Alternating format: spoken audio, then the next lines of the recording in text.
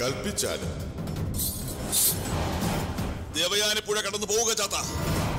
ഇളയിടത്തിലെത്തിയ അഷ്ടമംഗല്യ പ്രശ്നം മുടക്കുക.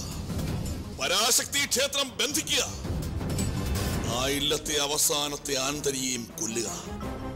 ഓ ഓ ചാത്ത. അവിടുത്തെ കൽപ്പന പോലെ.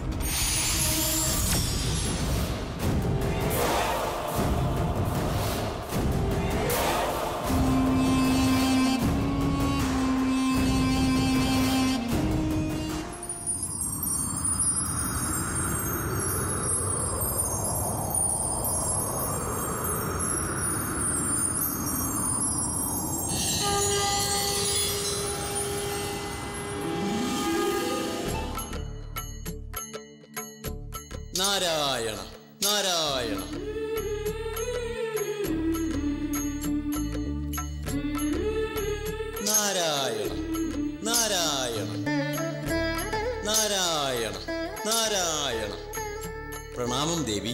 പ്രണാമം ദേവർഷേ. അങ്ങയുടെ സാന്നിധ്യം ഇവിടെ ഇല്ലാതായിട്ട് നാളുകൾ ഏറെ ആയല്ലോ. ദേവലോകം ഇപ്പോൾ സ്വസ്ഥം. പക്ഷേ ഭൂലോകത്ത് അനിഷ്ടങ്ങൾ ഏറുകയാണല്ലോ ദേവി. എന്താ? ഭൂലോകത്തേക്കുള്ള അവിടുത്തെ അനുഗ്രഹ ദൃഷ്ടികൾ അടച്ചിരിക്കുകയാണോ എന്നൊരു സന്ദേഹം. നാരായണ നാരായണ. വ്യക്തമാക്കിയാലും നാരദരെ.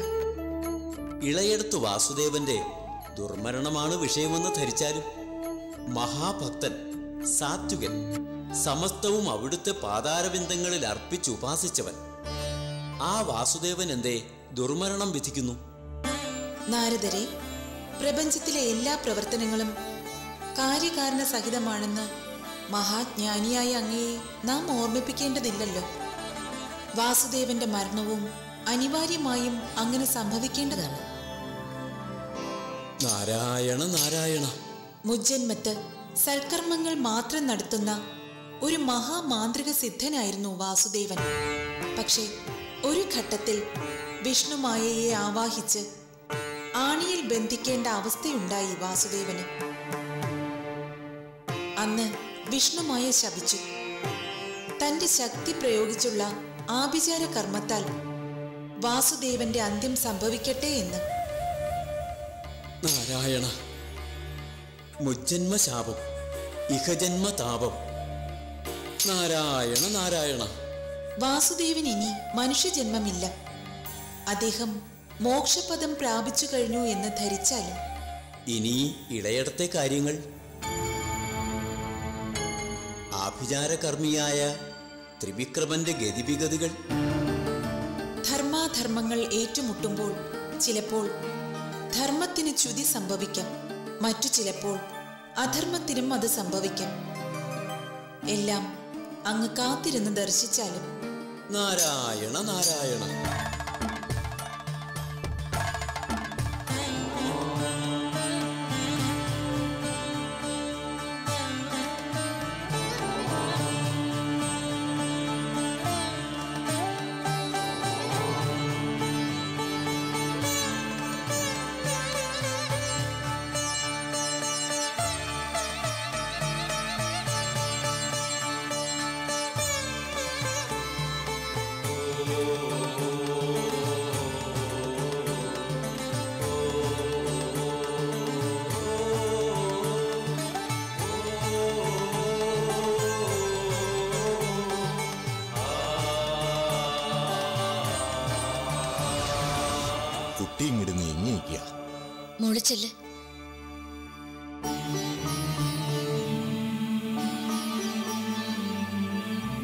ദവാങ്ങ തമ്പുരാട്ടി ഇനി അധികം നേരം വേണ്ട. ഇവിടെയുണ്ടായ ദുർനിമിത്തങ്ങളുടെയും ദുരന്തങ്ങളുടെയൊക്കെ കാരണം ഇപ്പൊ അറിയാം.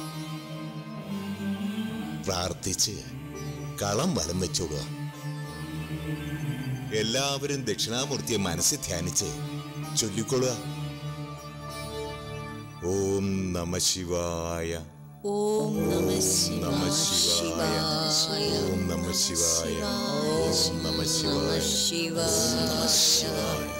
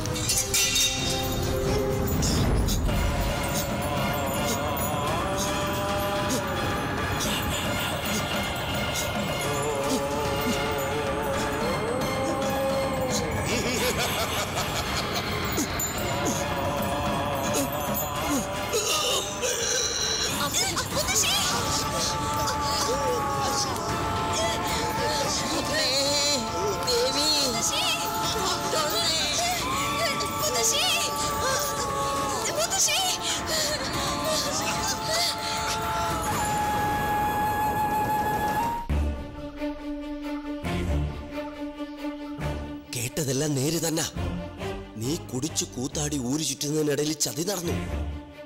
ചാത്തനെ കൊണ്ടുപോയി. മൂത്തയിടത്ത് വലിയമ്പൂരിക്ക് നിന്റെ അപ്പൻ ചാത്തനെ കൈമാറി. ഗണപതിയെ പകരം കൊടുത്ത് നിന്റെ അസുരമൂർത്തിയെ അയാൾ ഇല്ലത്തുകൊണ്ടുപോയി കുടിയിരുത്തുകയും ചെയ്തു. നിനക്ക് യോഗമില്ലടാ. നിന്റെ ജന്മം പാഴായി.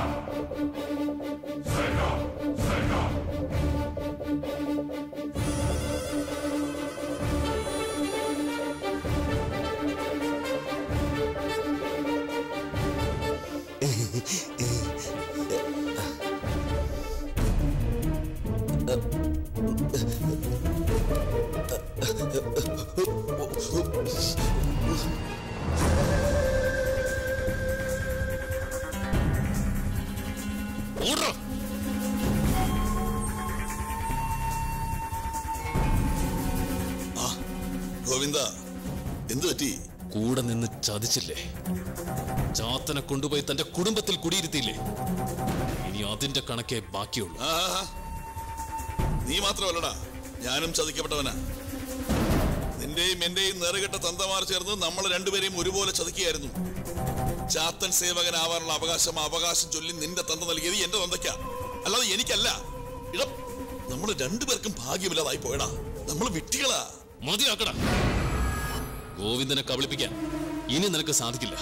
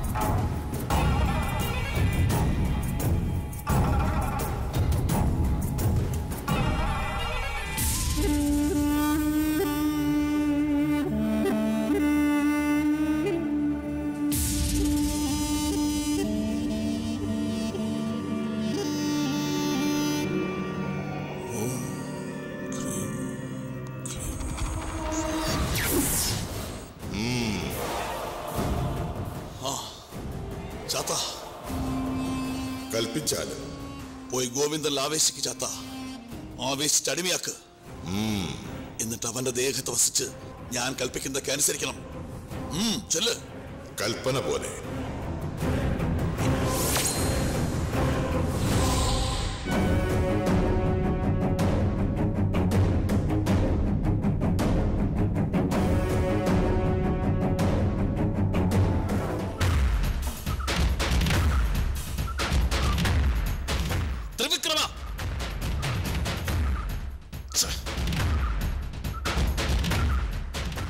എങ്ങോട്ട് മുങ്ങി.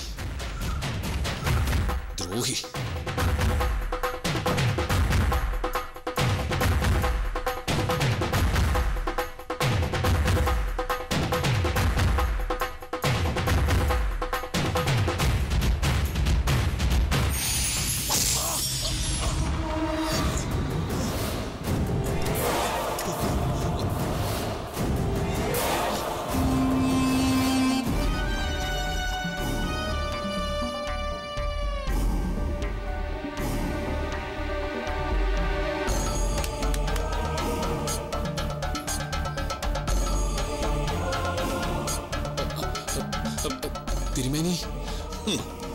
നിന്റെ തന്തയാണ് നിന്നെ ചതിച്ചതെന്ന് ഞാൻ മര്യാദയ്ക്ക് പറഞ്ഞതല്ലേടാ? ഇപ്പൊ ബോധ്യപ്പെട്ടോ?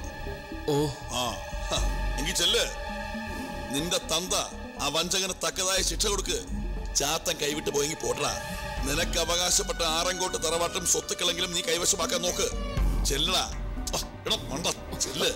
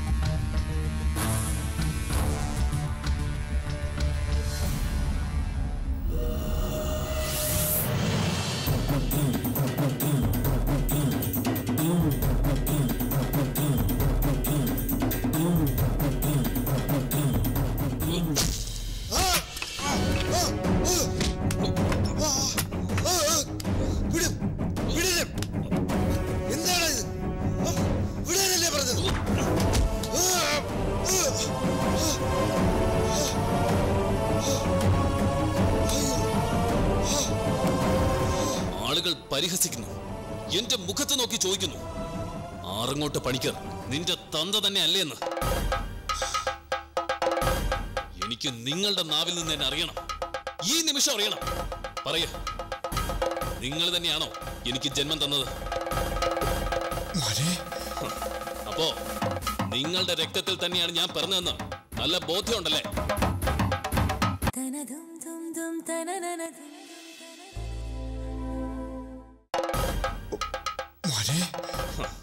അപ്പോ നിങ്ങളുടെ രക്തത്തിൽ തന്നെയാണ് ഞാൻ പിറന്നതെന്ന് നല്ല ബോധ്യമുണ്ടല്ലേ? പിന്നെ എന്തേ സ്നേഹവാത്സല്യങ്ങൾ പങ്കുവെക്കുമ്പോ നിങ്ങളുടെ കൈ വറച്ചു.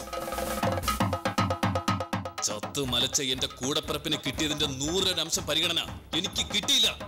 എന്നത് പോട്ടെ. ഞാനത് മറക്കാം. കാരണം അവൾക്കുള്ള ശിക്ഷ ഞാൻ കൊടുത്തു കഴിഞ്ഞു എന്നതുകൊണ്ട്. പക്ഷേ മൂത്തേടത്തെ ലക്ഷ്മി നാരായണന് എന്നെക്കാൾ മതിപ്പുണ്ടായത് എന്തുകൊണ്ടാണെന്ന് എനിക്കറിയണം.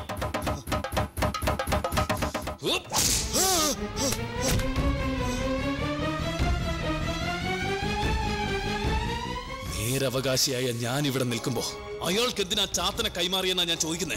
അങ്ങനൊരു തീരുമാനം ഞാൻ എടുക്കാൻ കാരണം നീ മാത്രമാ. ഒരുപാട് വട്ടം തൊണ്ട പൊട്ടിച്ചു പറഞ്ഞതൊക്കെ വീണ്ടും ആവർത്തിക്കാൻ വയ്യ. വേണ്ട. ഇനി ഒന്നും കേൾക്കുകയും വേണ്ട. ചില തീരുമാനങ്ങൾ എടുക്കാനേ ഉള്ളൂ.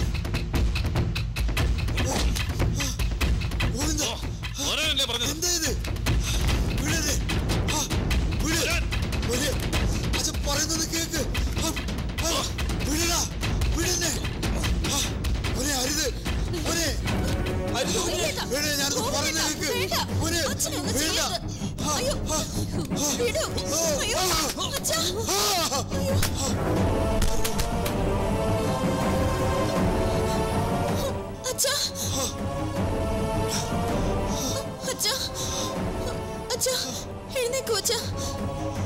ആറങ്ങോട്ട് പണിക്കരുടെ കാലം അവസാനിച്ചു.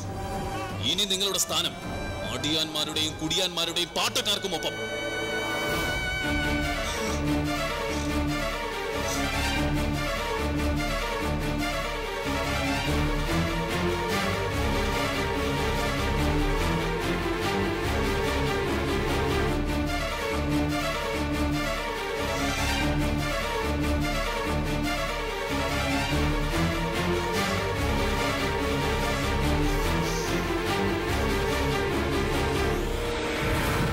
ചാത്തനെ ആ തെണ്ടി നമ്പൂതിരി വെച്ച് ആരാധിക്കട്ടെ? ആയ കാലത്ത് സേവ നടത്തി സമ്പാദിച്ച മണ്ണും സ്വത്തും മണിമാളികയുണ്ടല്ലോ. എനിക്കത് മതി.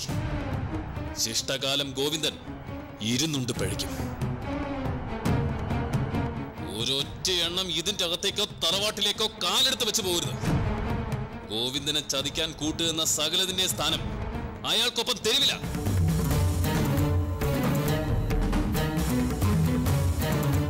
ഭ്രാന്ത് ഒരുപാട് ഞാൻ കണ്ടിട്ടുണ്ട്. പക്ഷെ ഇന്നേ വരെ ഇതുപോലെ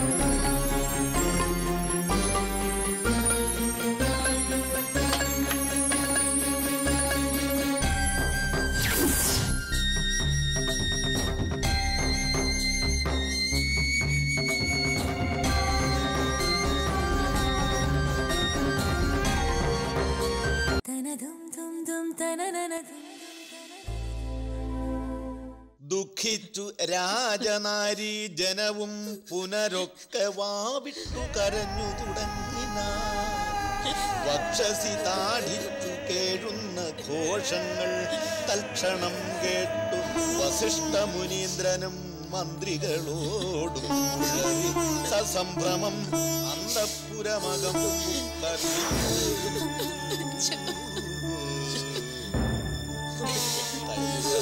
ദ്രോണി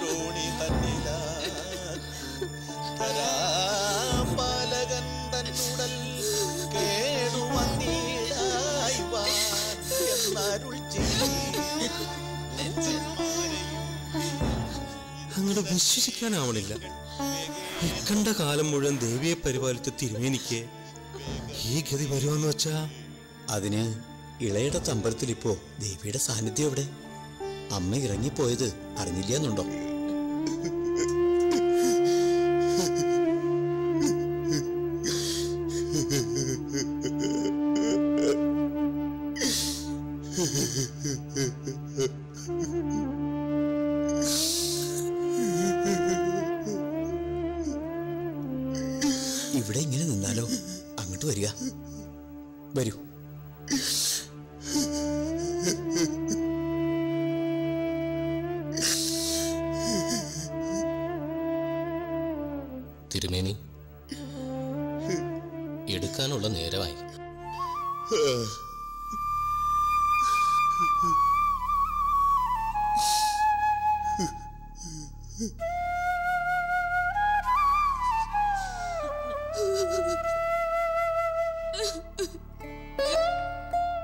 അവസാനമായി കാൽക്കൽ നമസ്കരിച്ചോളൂ.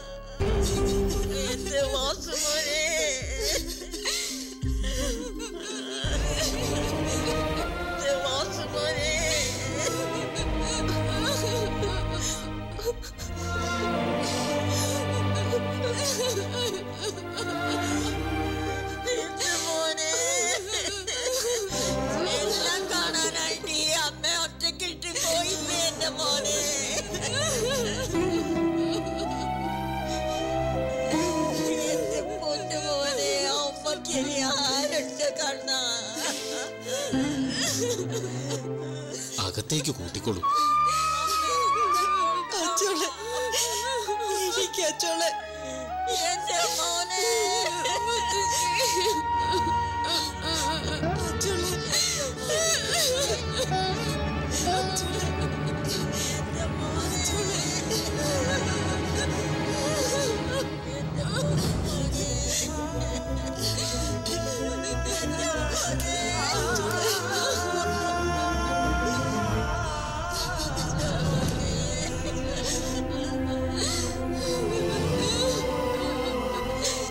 അച്ഛന്റെ കാൽക്കൽ നമസ്കരിച്ചിട്ട് വാ.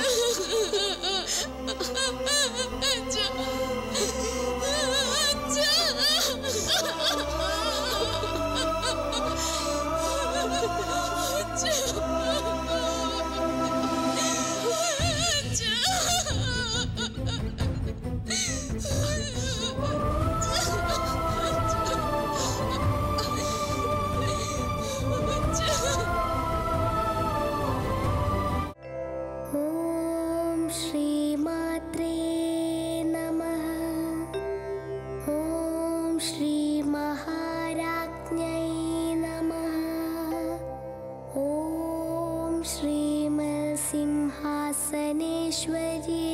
नमः ॐ चिदग्निकुण्ड सम्भूतायै नमः